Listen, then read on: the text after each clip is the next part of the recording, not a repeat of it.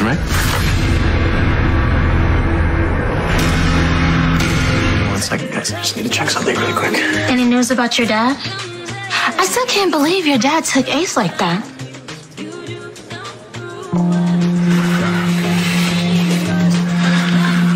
I let my father take Ace. And I even delayed telling Esme so that I could give them a bigger head start. She called me Spence. Which she hasn't called me since this past New Year's when she washed up on the deck of the Haunted Star. And just her attitude, I don't know. She's she's different. She's the things that she's saying is a lot sharper. Is it Trina's leaving that's troubling you, or the fact that Spencer's going with her? Well, I, I, I think I've learned to accept the fact that Trina can make her own decisions about her life. She's a, a young lady, and she's uh-huh. decided that Spencer is a part of that life. Okay, fine. But I can't stop thinking about all the turmoil that seems to follow Spencer wherever he goes, right? May got her memories back. When did that happen, Heather? Night of Christmas Eve. She went back to Windermere, where your horrible, criminal son held her prisoner for months and months. And, you know, I guess it just brought it back for her. You know I'm the mayor. You don't think that I'm going to go straight to the PCPD? Oh, I know you will. And then they will put her here in Pentonville, where she belongs, with her mother. So yeah, we do need proof because if this thing goes to trial and Esme is somehow able to convince a jury that she is innocent, then that's it. We get one shot at this. I've been waiting for the real Esme to show herself. I'll get you proof. You guys just need to focus on going to Paris. Do not let Esme take that away from you. Thank you, Joss. Yeah, thank you. Just please be careful, okay?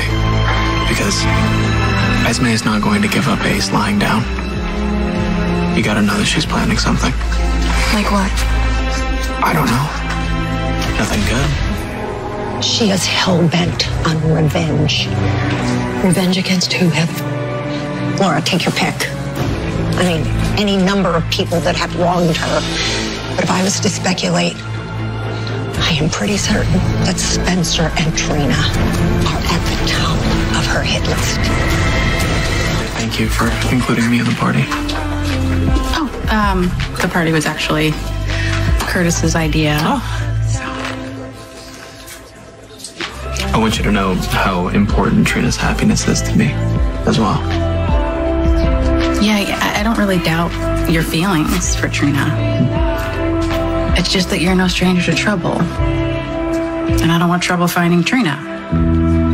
Here or in Paris. I have to focus on the future, on on my son and getting him back and doing whatever it takes to keep him with me.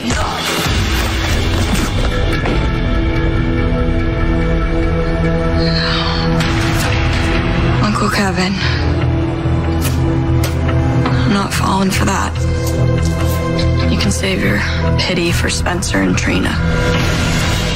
We don't need to take another test.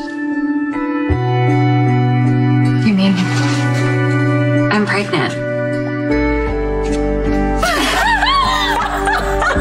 What exactly do you want me to do, Heather? I'm really worried that she's going to get herself into much worse trouble if she goes after Spencer and Trina. I need to save my daughter from herself. Please, Laura, find Esme. Find my daughter and stop her before she does something horrible. To Trina and Spencer. Much love and best wishes on your exciting new adventure. Trina and Spencer. I'm very excited to put the past behind us. And I'm really, really looking forward to our future. Be the perfect man for the job. We found something that might help the defense. Are you offended that I might win? And when you're ready, you can try again. What's the mission? Should I choose to accept? We've got to arrest her before she does something terrible. Do you know something that I don't know?